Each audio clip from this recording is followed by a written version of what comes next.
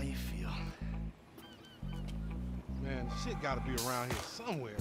Unless they buried it under the sand, fool. Another brilliant Lamar Davis production. Man, fuck you. Hey, excuse me, homie. Can you tell me where Berto Beach House is? No, homie, I cannot. Man, would you come on?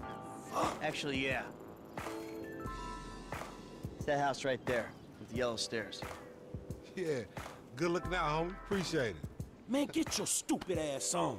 Damn. Why don't you ask him if he knows the fucking owner? Or better yet, do some skywriting that reads there's a couple niggas here about to boost some cars in case somebody didn't realize. See, what you don't realize is we ain't boosting. This shit is legit business.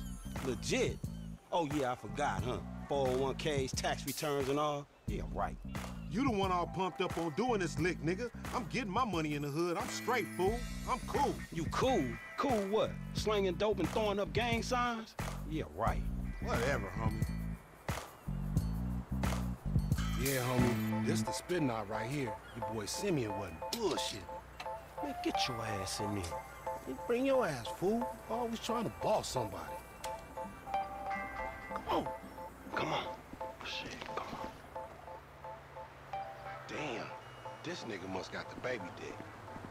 Yeah. And all this shit paid for with bad credit.